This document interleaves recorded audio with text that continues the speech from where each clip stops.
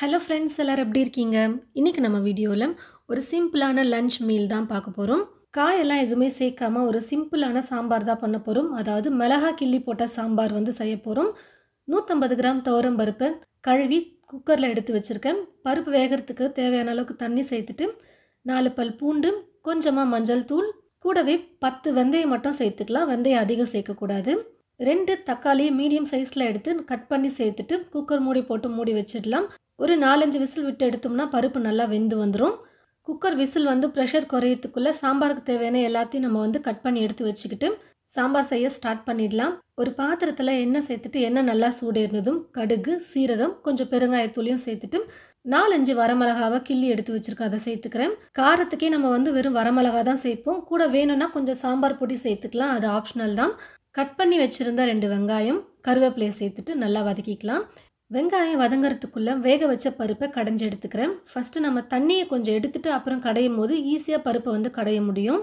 பருப்பு கடையிறதுக்குள்ளவே வெங்காயமும் இந்த பக்கம் வதங்கி வந்துருச்சு. இந்த ரெசிபிக்கு ரொம்ப வெங்காயம் வதக்க வேணாம். கொஞ்சம் கண்ணாடி பதம் வர வரைக்கும் வதக்குனா போதும். நான் ஏற்கனவே சொன்ன மாதிரி காரத்துக்கு நீங்கள் வெறும் வரமிளகா மட்டும் சேர்த்துக்கலாம். இல்லைனா சாம்பார் பொடியும் கூட கொஞ்சம் சேர்த்துக்கலாம். நான் வந்து கொஞ்சமாக ஒரு அரை ஸ்பூன் அளவுக்கு சாம்பார் பொடி சேர்த்துட்டு தேவையான அளவுக்கு உப்பு சேர்த்துட்டு நல்லா கலந்து கொடுத்துட்டு கடைஞ்சி எடுத்து வச்சுருக்கிற இந்த பருப்பை சேர்த்துக்கிறேன்.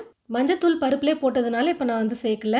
கொஞ்சமாக புளி எடுத்து நல்லா ஊற வச்சு கரைச்சி எடுத்து வச்சுருக்கேன். அந்த புளி கரைசலையும் சேர்த்துட்டு சாம்பாருக்கு தேவையான அளவுக்கு தண்ணி வச்சுட்டு நம்ம குக் பண்ணிக்கலாம். நல்லா கொதிக்கட்டும். ஒரு ஏழு எட்டு நிமிஷத்துக்கு நல்லா சாம்பார் வந்து கொதிச்சு வரட்டும். இந்த பக்கம் பொரியலுக்கு வந்து பார்த்திங்கன்னா ஒரு வாழைக்காவை நான் எடுத்து வச்சுருக்கேன். வாழைக்காய் மேலே இருக்கிற தோலை வந்து லைட்டாக சீவி எடுத்துட்டு இந்த மாதிரி நான் வந்து கட் பண்ணி எடுத்துக்கிறேன். ரவுண்ட் ஷேப்பில் கட் பண்ணாமல் இந்த மாதிரி வாழைக்காவை வந்து நான் கட் பண்ணி எடுத்துக்கிறேன். எப்போவுமே உருளைக்கிழங்கு வாழைக்காவெல்லாம் கொஞ்சம் கொஞ்சமாக கட் பண்ணும்போதே தண்ணியில் எடுத்து போட்டுருணும் அப்போ தான் கலர் மாறாமல் இருக்கும். இல்லைனா கலர் வந்து மாறிடும். இந்த ரெசிபிக்கும் ஒரே ஒரு தக்காளி பழம் சேர்த்தா போதும். சின்னதாக ஒரு தக்காளி பழத்தை மிக்சியில் போட்டு நல்லா நைஸாக அரைச்சி எடுத்துக்கலாம். பொரியலுக்கு ஒரு கடாய் வச்சுட்டு கடாய் நல்லா சூடேறினதும் தேவையான அளவுக்கு எண்ணெய் சேர்த்துட்டு கடுகு கொஞ்சம் சேர்த்துக்கிறேன். கடுகு நல்லா பொரிஞ்சதும் பெருங்காயத்தூள் கொஞ்சம் சேர்த்துட்டு ஒரு வெங்காயம் கட் பண்ணி வச்சுருக்கேன். கருவேப்பிலை கொஞ்சம் எடுத்து வச்சுருக்கேன். அதை சேர்த்துட்டு வதக்கிக்கலாம்.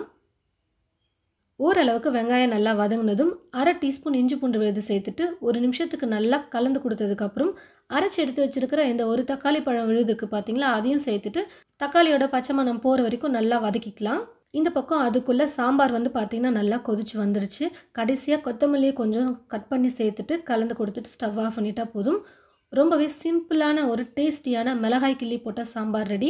காயெல்லாம் நம்ம போட்டு செஞ்சாலுமே கூட இந்த மாதிரி சிம்பிளாக சில டைமில் வந்து நீங்கள் ட்ரை பண்ணி பாருங்கள் மிளகாய் கிள்ளி போட்ட சாம்பார் அவ்வளோ ரொம்ப டேஸ்ட்டாக இருக்கும். எங்கள் வீட்டில் இது ரொம்பவே ஃபேவரட்டான ஒரு சாம்பார்னு சொல்லலாம். தக்காளியோட பச்சை மணம் போகிற வரைக்கும் வதங்கினதுக்கப்புறம் கட் பண்ணி வச்சுருக்கிற இந்த வாழைக்காவை தண்ணி இல்லாமல் எடுத்து கடாயில் சேர்த்துட்டு ஒரு நிமிஷத்துக்கு நல்லா வதக்குனதுக்கப்புறமா மசாலாம் சேர்த்துக்கலாம். காரத்துக்கு தேவையான அளவுக்கு மிளகாய்த்தூள் சேர்த்துக்கோங்க. நான் அரை ஸ்பூன் வெறும் மிளகாய்த்தூள் அரை ஸ்பூன் மல்லித்தூள் கால் டீஸ்பூன் கரம் மசாலா கால் டீஸ்பூன் மஞ்சள் தூள். தேவையான அளவுக்கு உப்பையும் சேர்த்துட்டு ஸ்டவ்வை மீடியம் ஃப்ளேமில் இல்லை லோ ஃப்ளேமில் வச்சுட்டு ரெண்டு நிமிஷத்துக்கு அந்த மசாலோட சேர்த்து வாழைக்காவை நல்லா வந்து குக் பண்ணிக்கலாம். ரெண்டு நிமிஷம் குக் பண்ணதுக்கப்புறம் தண்ணி வந்து பார்த்தீங்கன்னா ஒரு ஐம்பது எம்எல் அளவுக்கு சேர்த்துக்கிட்டா போதும். ரொம்ப அதிகம் சேர்க்க வேண்டியதில்லை. அந்த தண்ணியெல்லாம் ட்ரை ஆகிட்டு வாழைக்காவும் நல்லா குக் ஆகிட்டு வர வரைக்கும் நம்ம குக் பண்ணோம்னா போதும். ஒரு சூப்பரான பொரியல் வந்து ரெடி ஆகிடும் பாருங்கள் சேர்த்துருந்த தண்ணியெல்லாம் நல்லா ட்ரை ஆகிட்டு மசாலா எல்லாமே வாழைக்காவோட நல்லா ஒட்டி பிடிச்சி குக் ஆகிட்டு வந்திருக்கு. கொஞ்சம் தொக்கு போலவும் நீங்கள் வச்சும் சாப்பிடலாம். சாதத்தோடு மிக்ஸ் பண்ணி ரொம்ப சூப்பராக இருக்கும். பொடியை நறுக்கிய கொத்தமல்லியை கொஞ்சம் சேர்த்துட்டு கலந்து கொடுத்துட்டு ஸ்டவ் ஆஃப் பண்ணிட்டா போதும். ஒரு டேஸ்டியான வாழைக்காய் பொரியல் வந்து ரெடி ரொம்ப சூப்பராக இருக்கும். இந்த மிளகா கிள்ளி போட்ட சாம்பாருக்கு வந்து சாப்பிட. இந்த கடாயில் இது போல் தொக்கு பொரியல்லாம் வந்து கொஞ்சம் மசாலாம் ஒட்டி பிடிக்கிற மாதிரி நம்ம செஞ்சோம்னாலே சுட சுட சாதத்தை அது கூட போட்டு மிக்ஸ் பண்ணி சாப்பிடும்போது அவ்வளோ சூப்பராக இருக்கும். எங்கள் வீட்டில் அந்த சாதத்துக்கு நானும் எங்கள் அண்ணனும் வந்து பார்த்திங்கன்னா நல்லா அடிச்சுக்குவோம். எனக்கு வேணும் உனக்கு வேணும் அப்படின்னு சொல்லிட்டு அம்மா கிட்ட. இப்போ லாஸ்ட்டாக பார்க்க போகிற இந்த ஆம்லெட் ரெசிபி வந்து பார்த்திங்கன்னா நீங்கள் ஸ்கிப் பண்ணாமல் பாருங்கள் ஏன்னா உங்களுக்கு ரொம்பவே புதுசாகவும் ரொம்ப டேஸ்டியாகவும் இருக்கக்கூடிய அளவுக்கு ஒரு சூப்பரான ஆம்லெட் ரெசிபி தான் நம்ம பார்க்க போகிறோம் நான் வந்து ரொம்ப குட்டி குட்டியாக இருக்கிற மீல் மேக்கர் எடுத்திருக்கேன். நீங்கள் சின்னது இல்லை பெருசு எந்த சைஸில் கிடைக்குதோ அந்த மீல் மேக்கர் எடுத்துக்கோங்க. உங்கள் வீட்டில் எவ்வளோ பேர் இருக்காங்களோ அதுக்கேற்றது போல் நீங்கள் மீல் மேக்கரையும் எடுத்துக்கோங்க. ஒரு கையளவுக்கு இப்போ மீல் மேக்கர் வந்து எடுத்திருக்கேன். சுடு தண்ணியில் ஒரு அஞ்சு நிமிஷத்துக்கு போட்டு நல்லா ஊற வச்சு எடுத்துட்டிங்கன்னா சாஃப்ட் ஆகிட்டு வந்துடும் மீல் மேக்கர் இப்போ ஒரு மிக்சி ஜார் எடுத்துக்கிட்டு இந்த மிக்சி ஜாரில் சுடு தண்ணியில் போட்டு வச்சுருந்த அந்த சாஃப்ட் ஆகிட்டு வந்திருக்கிற மீல் மேக்கரை வந்து நல்லா இது போல் பிழிஞ்சு பிழிஞ்சு தண்ணி இல்லாமல் சேர்த்துக்கலாம். தண்ணி வந்து இருக்கக்கூடாது. நல்லா தண்ணி சுத்தமாக இப்படி பிழிஞ்சு எடுத்துகிட்டு அதுக்கப்புறம் சேர்த்துட்டு நல்லா கொஞ்சம் நைஸாக இருக்கிற மாதிரி மீல் மேக்கரை அரைச்சி எடுத்துக்க போகிறோம் நல்லா இது போல் நைஸாக அரைச்சதுக்கப்புறம் ஒரு பாத்திரத்தில் மூணு முட்டை நான் சேர்த்துக்கிறேன். நல்லா பெரிய பெரிய ஆம்லெட்டாக ரெண்டு பேத்துக்கு நான் வந்து செய்கிறேன் அதனால் மூணு முட்டை எடுத்திருக்கேன். இதை வந்து பார்த்தீங்கன்னா நம்ம மூணு பேரே சாப்பிடலாம். இந்த ஆம்லெட் வந்து மீடியம் சைஸில் போட்டு கொடுத்தோம்னா ஃபஸ்ட்டு முட்டையை வந்து நல்லா பீட் பண்ணிக்கோங்க. நல்லா பீட் பண்ணி இது போல் எடுத்ததுக்கப்புறமா அரைச்சி வச்சிருக்கிற இந்த மீல் மேக்கரை வந்து சேர்த்துக்கிறேன். முட்டையோட நல்லா அந்த மீல் மேக்கரை வந்து மிக்ஸ் பண்ணி விட்டுருங்க நல்லா. இது போல் மிக்ஸ் ஆகிட்டு வந்ததுக்கப்புறம் காரத்துக்கு பச்சை மிளகாவை பொடியை கட் பண்ணி சேர்த்துக்கிட்டு ஒரு வெங்காயம் பொடியை கட் பண்ணி வச்சுருக்கேன் அதை சேர்த்துட்டு ரெண்டு சிட்டிகை அளவுக்கு மஞ்சள் தூள் சேர்த்துக்கிறேன். கால் டீஸ்பூன் மிளகாய் தூள் சேர்த்துக்கிறேன். இது வந்து ஆப்ஷனல் தான். வெறும் பச்சை மிளகாய் மட்டும் நீங்கள் சேர்த்துக்கலாம். அப்படி கொஞ்சம் இது போல் மிளகாய் தூளும் சேர்த்து பண்ணலாம். கொஞ்சம் மிளகாய் தூளும் சேர்த்துக்கோங்க நல்லாயிருக்கும் தேவையான அளவுக்கு உப்பு சேர்த்துட்டு எல்லாத்தையும் சேர்த்து நல்லா வந்து மிக்ஸ் பண்ணி எடுத்துக்கலாம் முட்டையோட.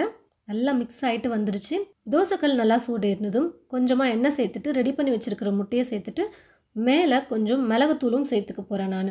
இது வந்து ரொம்ப டேஸ்ட் சூப்பராக இருக்கும் மிளகுத்தூள் சேர்க்கும் போது சுற்றியும் எண்ணெயை கொஞ்சம் சேர்த்துட்டு ஒரு பக்கம் நல்லா குக் பண்ணி வந்ததுக்கப்புறமா இன்னொரு பக்கம் திருப்பி போட்டு நம்ம வந்து குக் பண்ணி எடுத்துக்கலாம். நல்லா சாஃப்டாகவும் நல்லா டேஸ்ட்டாகவும் இருக்கும் இந்த ஆம்லெட் வந்து. நல்லா முட்டையை வந்து பீட் பண்ணிவிட்டு செய்யும் போது நல்லா சாஃப்டாக இருக்கும். ஆம்லெட் சாப்பிட்றதுக்கு இன்னும் கூட வந்து நம்ம மீல் மேக்கர் சேர்த்துருக்கிறதுனால ரொம்பவே சாஃப்டாக இருக்கும். டேஸ்ட்டும் வந்து சூப்பராக இருக்கும். கண்டிப்பாக இந்த ரெசிபியை நீங்கள் ட்ரை பண்ணி பாருங்கள் ஒரு சிம்பிளான லஞ்ச் மீல் தான் இது. ஆனால் கண்டிப்பாக எல்லாருக்கும் பிடிக்கக்கூடிய வகையில் இருக்கும். சுட சுட சாதத்தை வடித்து சேர்த்துட்டு அப்படியே நம்ம மிளகாய் கிள்ளி போட்ட சாம்பாரும் ரெடி பண்ணியிருக்கோம். அதையும் ஒரு கப்பில் வந்து சேர்த்துக்கலாம்.